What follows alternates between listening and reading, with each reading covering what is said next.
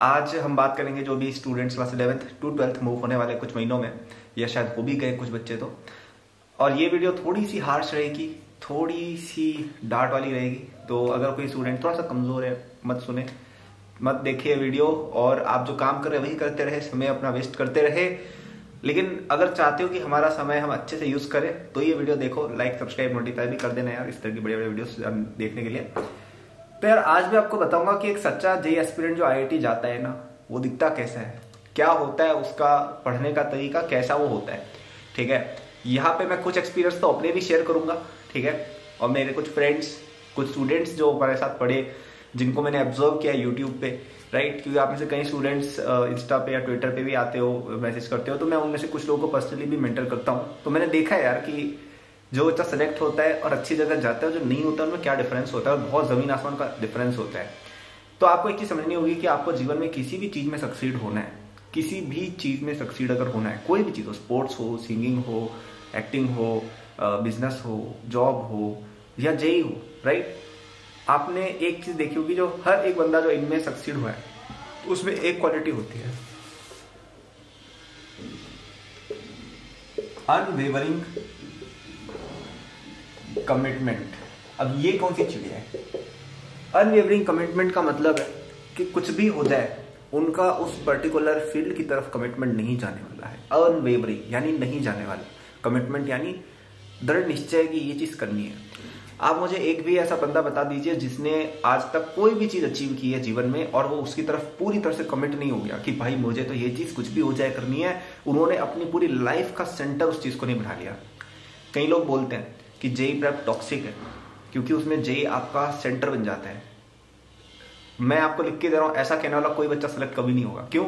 क्योंकि उसमें वो चीज़ की समझ ही नहीं है कि कुछ स्टूडेंट्स हैं ऐसे जिनके लिए एग्ज़ाम उनका लाइफ का एग्जिस्टेंस है और वही लोग ये एग्ज़ाम क्लियर करेंगे। लोग पता है क्या चाहते हैं? कि हम कमिटमेंट और हार्डवर्क नहीं डालें और हमें रिज़ल्ट मिल जाए।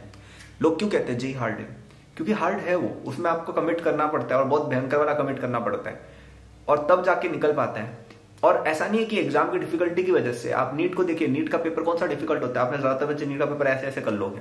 लेकिन, उसमें, लेकिन फिर कट ऑफ़ बहुत हाई जाती है। नीट में 600 नंबर आउट ऑफ़ 720 लाने वाले की भी कोई वैल्यू नहीं है। नीट में आप साढ़े छह सौ नंबर लाते हो तो आपकी अच्छी रैंक शुरू होती है।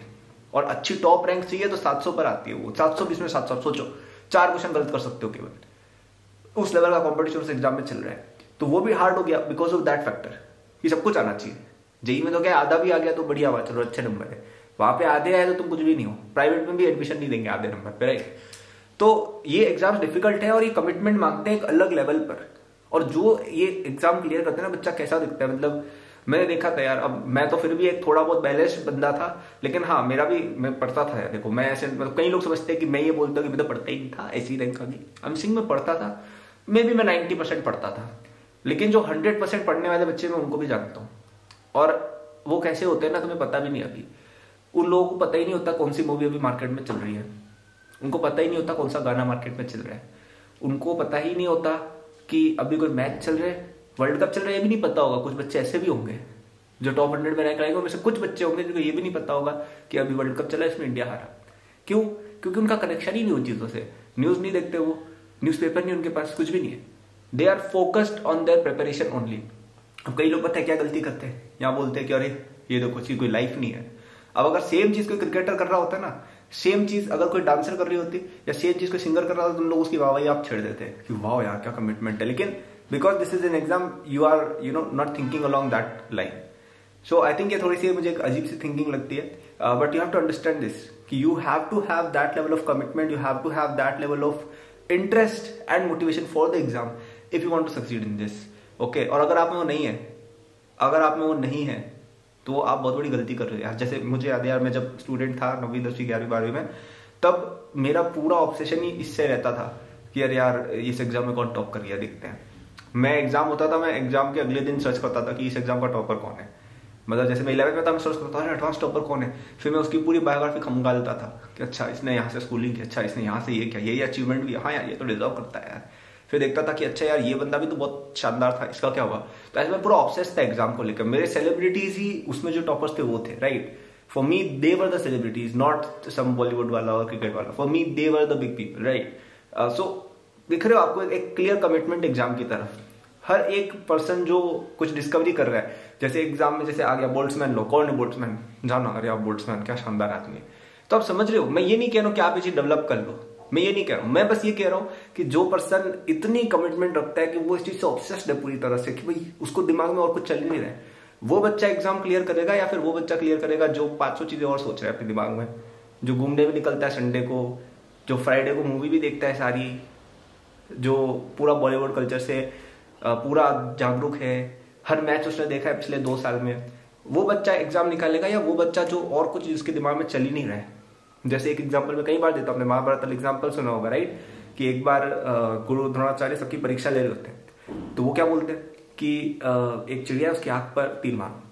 तो सारे लोग इकट्ठे होते हैं। फिर उनसे पूछते हैं कि, तुम्हें क्या दिख रहा है? कोई बोलता है, मुझे पत्तियाँ दिख रही हैं, बहुत अच्छा सूरज है, बहुत अच्छा यू नो आकाश है। एक अर्जुन क्या बोलते हैं कि, मुझे केवल उसकी आँख दिख रही है। तो क्या है वो? फोकस है। उसको और चीज़ें नहीं दिख रही है। तो जो बंदा इस पे पूरी तरह से फोकस होगा ना, कि बस यही है। वो निकालेगा एग्ज़ाम अब आपको हो सकता है लगे कि अरे, ये तो टॉक्सिक है, अरे, ये तो बच्चों पे बोझ है तो मत करो प्रिपरेशन यार। किसी ने फोर्स थोड़ी किया, मत करो। मतलब this is just like saying कि कोई, जैसे लता मंगेशकर बचपन में सिंगिंग की प्रैक्टिस थी तो वो तो वो तो एक्सप्लोटेशन हो गया कि क्यों मेहनत कर रहे हो बचपन में? बचपन में तो मज़े करो राइट और ये तो बचपन थोड़ी होता है यार, आप सोलह साल, सत्रह साल के यार दिस इज़ नॉट बचपन भाई। इट्स गॉन एंड सच बताऊँ तो अगर आपको इस लेवल की फीलिंग नहीं आती ना इस एग्ज़ाम के लिए आपको एग्ज़ाम प्रिपरेशन नहीं छोड़ देनी चाहिए मेरे हिसाब से तो क्योंकि सिलेक्शन नहीं होगा। जो इस लेवल की कमिटमेंट है ना एग्ज़ाम को लेकर उसका ही सिलेक्शन होता है आई में। सही मैं मैं, मैं बिल्कुल मज़ाक नहीं कर रहा हूँ। आप एक भी आईआईटी बॉम्बे वाले बंदे से मिलना वो ऑब्सेस्ड होगा जेई को लेकर। आज भी ऑब्सेस्ड होगा। भले ही दो तीन साल हो गए वो ऑब्सेस्ड होगा।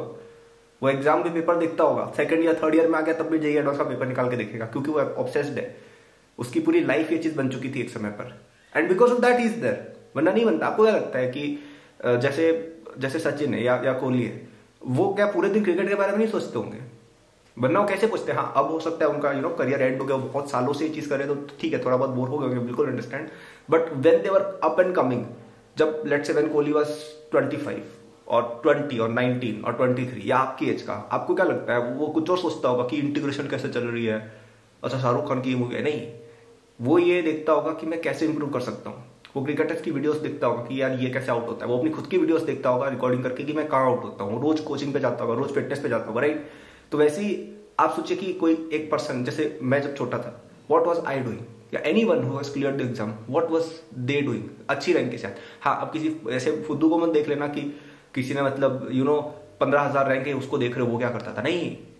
जिसकी फ़र्स्ट रैंक है, उसको देखो, वो क्या कर रहा था? जिसकी सेकंड रैंक आई, जिसकी टेन रैंक आई, जिसकी तुम्हारे होम टाउन से होते हुए नाइनटी रैंक आई, वो क्या कर रहा था? उसको देखो ना तो मुझे याद है यार, मैं तो ऑब्सेस था एग्ज़ाम के साथ। मैं कॉन्सेप्ट को लेकर ऑब्सेस था, मैं सब चीज़ों को लेकर ऑब्सेस था।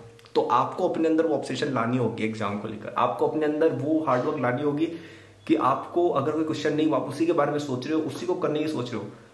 वॉशरूम तक मैं सोच रहा हूँ, फिर दिमाग में क्लिक होगा कि यस ऐसे होगा ठीक है? अब अगर आपको बातें फनी लग रही है ना कि भाई क्या बोल रहा है बंदा? तो भाई तुम ना तो एक जेई एस्पिरेंट हो, ना तुम कभी हो सकते हो। क्योंकि एक असली जेई एस्पिरेंट ऐसा दिखता है, वो ऐसा होता है। ठीक है तो क्या आप हो कमेंट्स मुझे बताओ कि यस मैं इस लेवल का कमिटमेंट या तो ऑलरेडी रखता हूँ, या मैं रखूँगा आज से। और वरना आप छोड़ दो यार प्रिपरेशन चैनल पे अनसब्सक्राइब कर दो यार। नहीं होगा तुम्हारा एग्ज़ाम ठीक है, तुम कोई छोटा वोटा कर लेना। उसमें कोई गलत बात नहीं है वैसे। सबके अलग अलग इंटरेस्ट होते हैं। ठीक है, मैं ये नहीं कह रहा हूँ कि आप अनसक्सेसफुल है, लेकिन इस चीज़ में सक्सेसफुल नहीं हो पाएँगे। ये तो मैं गारंटी दे सकता हूँ क्योंकि किसी भी फ़ील्ड में व्यक्ति तभी आगे बढ़ता है जब वो उस चीज़ के साथ पूरी तरह से जुड़ जाता है अंदर झोंक देता है खुद को तब उसको उस चीज़ में अचीवमेंट मिलती है। So on that note video end करते हैं। ओके okay, एक छोटी सी अनाउंसमेंट है मुझे 2025 वालों के लिए अगर आपने अभी तक सुन लिया है एक मिनट और सुनिए आपके बेनिफिट की बात कर रहा हूँ।